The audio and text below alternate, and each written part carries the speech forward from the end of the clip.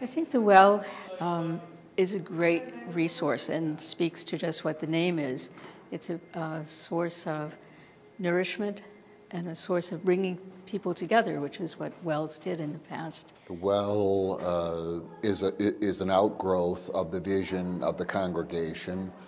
I think the well, I have taken another class here too. To me, it really is a new blossoming center in my life for um, a new level of conversation and to be able to have a safe place to discuss the very expansive um, new possibility of the new views of the world and then to tell the new story with like-minded souls that are also stirring it up in a very safe home, you know, home-like place.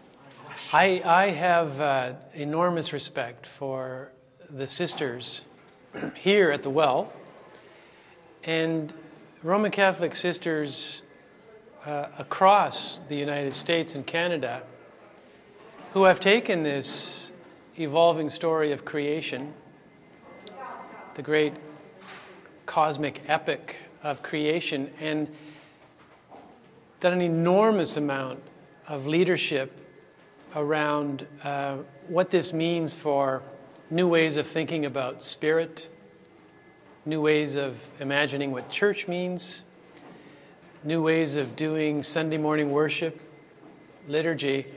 They really have been pioneers. The smallest atom and the smallest creature to man, the desire to, to create, to express the love continues. And if I could remember that and connect with that on a regular basis, then I would feel so free um, and so joy filled um, at being able to co create. I'm here this weekend because I want to be. I believe that uh, as a spirituality center, it addresses uh, a number of issues and um, uh, concerns and desires that are going on in people that we don't necessarily get at church each week. There's a tremendous connection between the well, between people like Barbara Marx, and, and all of us the opportunity to come here, to become more, to hear more, to be inspired. It's just such a tremendous gift. I'm a, I'm a Protestant, not a Roman Catholic. And it's a, there's a sense in which even the progressive Christian church hasn't incorporated or uh, the meaning of this evolutionary reality that we're involved with and that we are an expression of to the extent that these uh, beautiful sisters have?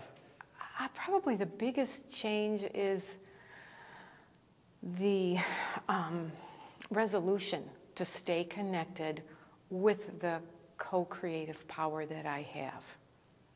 That uh, what talents and gifts I have to offer are real, and um, it's my responsibility to share them. The, uh, of course, the purpose of the well is, is to tell the story of the universe. It's the underlying purpose, you know, though we do a lot of other things as well. And, uh, and, and an event like this, bringing in a big name like Barbara and, uh, and Bruce, uh, the, the, well is, the, the well is trying to become not become a regional center. The significance of the well is that we have decided in recent months, years, that um, this work of becoming awake, this work of becoming conscious is really, really important um, for our whole planet, for our whole society, for the transformation of a very, very dysfunctional culture. And so we've made a, a kind of a commitment, take, uh, chosen the option of really focusing on this, uh, the spiritual dimension, really, of our life. Oh, this, the well has so much to offer uh, about helping us stay connected to Source and um, getting beyond uh, a theology of of fear of So for me, it was, uh, it was an honor to be in a place where they've been cultivating this field and building this field for many, many years.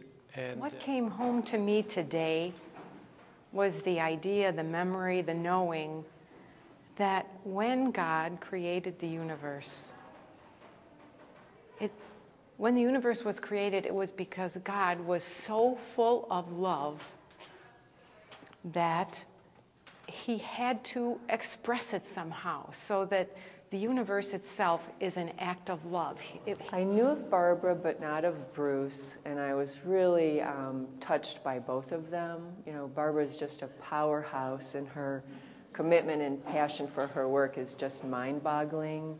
She's very conceptual, you know, always introducing new ideas, new ideas, new ideas. It's just amazing.